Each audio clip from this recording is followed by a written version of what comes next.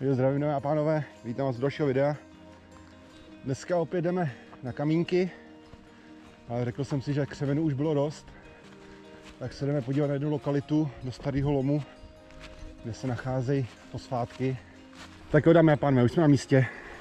Tohle to býval lom dřív, kde se normálně tížil kámen do soklu a právě se tady nacházejí i ty fosfátky. Tady, když budete, tak si můžete rozdělat i ohýnek. Tady už to má někdo i připravený. Ale bych to radši nedělal. Jo, tamhle na té skále, vlastně té drobě, tak tam můžete najít vavelitky. Nemusíte ani mít vybavení na to, abyste tady našli nějaký krásný vavelitový sluníčka. Jo, tady vlastně, když budete hledat, tady mezi těma kamenama, my půjdeme nahoru, protože tam je, tam byla obrovská díra nahoře, co vykopali hledači, samozřejmě pod stromem, jak jinak, že jinak se to neumí. A ten strom padnul, tady ho vidíte, jak je padnutý. Tak já se ani nedivím, naštěstí, že to někomu neublížilo. A když budete tady hledat ty vavelitky, tak v té drobě hledáte takový žilky, takový bílý žilky, jsou nápadný, jsou vidět, já zrovna koukám po kameně, kde bych vám to ukázal. Jo. Hledáte takový nenápadný bílý žilky a vlastně když je rozbouchnete, tak se vám krásně oddělí a má, můžete tam mít ty krásné fosfátky. No nic, my se doškrábeme nahoru a pak se přihlásím. Byl jsem tady před dvoma rokama, takhle to tady nevypadalo. Vlastně celý ten, ten profil je uřízlej, tady byla jenom tamhle ta díra, takže tohle se celý odkopal někdo. No, i to se stává. My tady koukneme, jestli nám tady něco nenechali. Rozbalíme rádoby tábor. Tohle to žlutý vlastně vypadá jenom jako res. A má to není res, ale je to kakoxen, což je taky fosfátek. Ono to vypadá nevzhledně, ale pod mikroskopem to dělá krásný takový žlutý sluníčka. Jo, tenhle ten vzoreček si vezmeme domů. Takže jako musím říct, že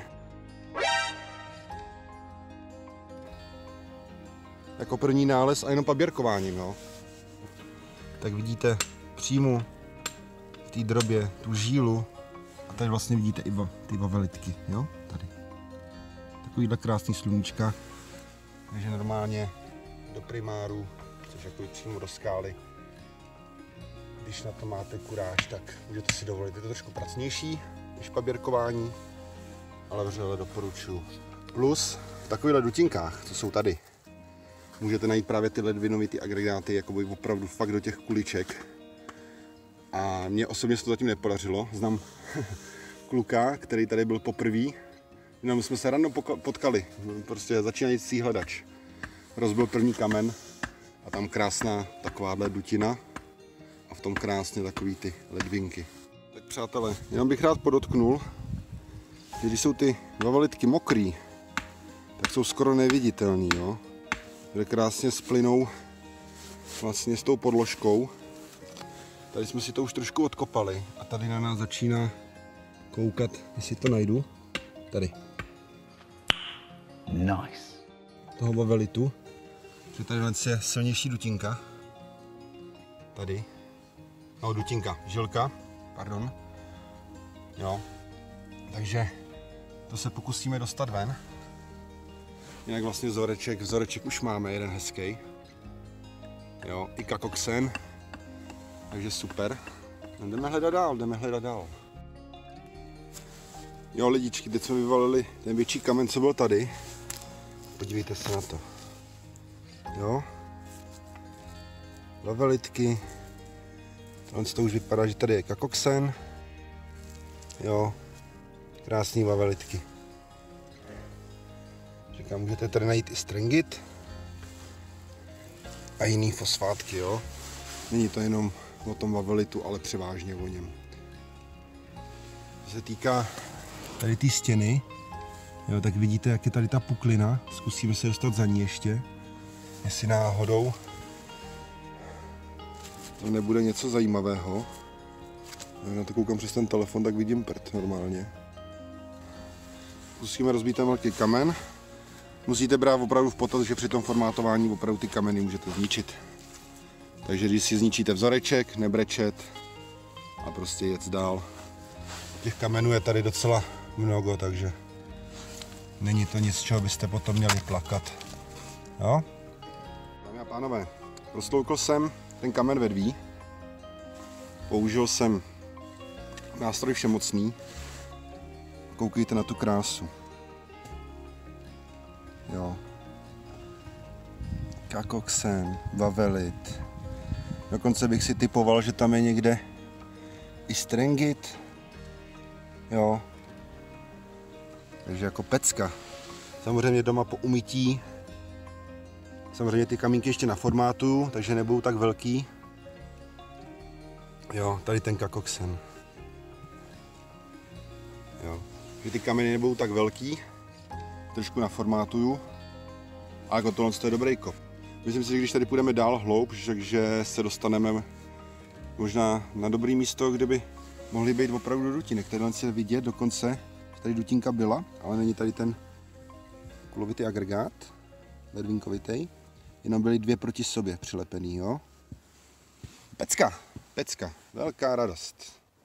Dámy a pánové, se mi podařilo, jsem rozbil jenom ten velký kamen, podařilo se mi tam najít dutinka mini, jo, tak půl centimetru, s nějakýma nazelenalýma minerálkama. Může to být vavelit, jo, ale nevím, nevím přesně, co by to mohlo být. Vezmu domů celý tenhle ten velký kamen, ať ho dál nerozbíjím. A pokusím se na to podívat doma a zjistit co a jak. To je docela zajímavý nález.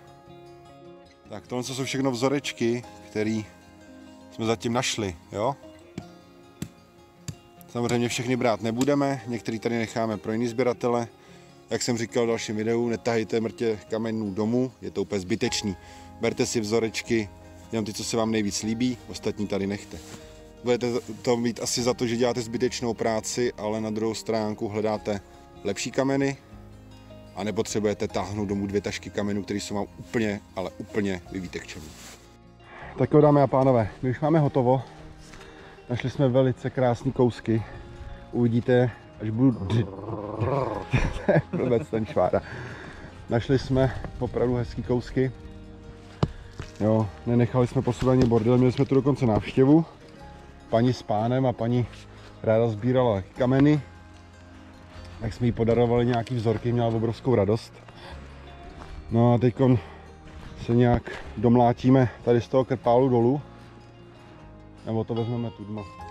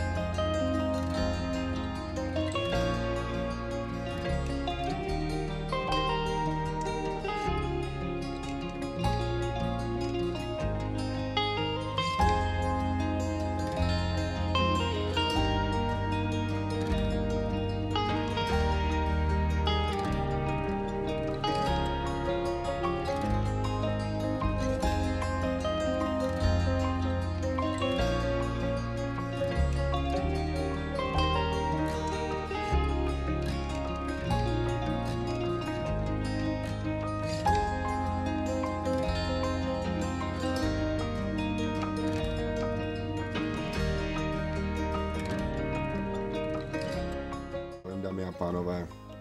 Jsme doma, vzorečky máme umytý a musím říct, že některé ty vzorky mě opravdu po umytí ještě víc překvapily, než když jsme je našli. No a teď bych vám rád ukázal pár kamenů, co jsme si vzali domů, když jste tam viděli tu hromadu, jsme tam nechali pro jiný sběratele, třeba i pro vás, když najdete místo, budete vědět kde, tak tam nahoře je obrovská hromada kamení s krásnými vzorkami, takže bez práce můžete získat nějaký vzorečky domů do vitrínky. Ale máme tady první kamínek, který jsem si sebou vzal domů. To vlastně takováhle podložka dva velitkama. Jo, ta už šla vlastně do puklinky, takže tam vidíte krásně vystouplý sluníčka, ty kuličky toho bavilitu. To je hezčí vzoreček. Jo, to žlutý nahoře je kakoksen. Já bohužel nedisponuji technikou na makro, takže bohužel nemám mikroskop.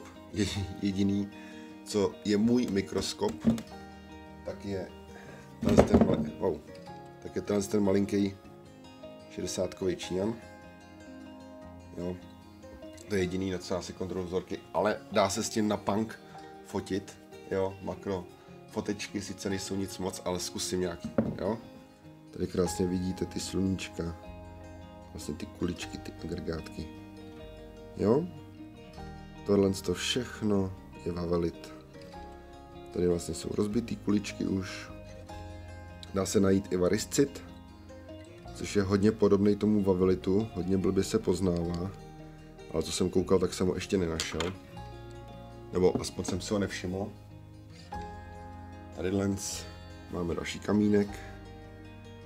Tady je plný kakoxenu a tohle to černý, co máte nahoře, tak je limonit.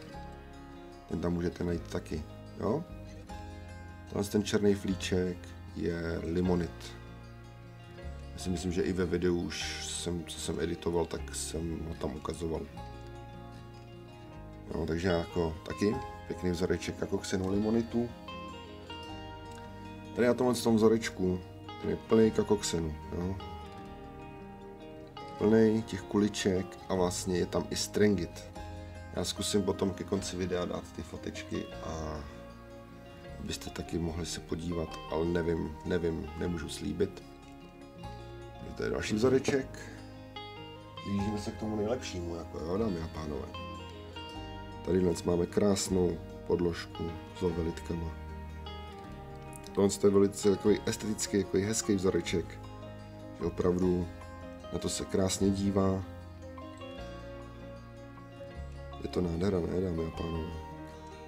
Opravdu ta příroda, příroda je opravdu mocná čarodějka, protože to, co dokáže vytvořit, to je Tenhle máme jeden předposlední, předposlední kamen, kakoksen, který vlastně má i ty štětinky, takový sluníčka tam dělá a nahoře vavelit.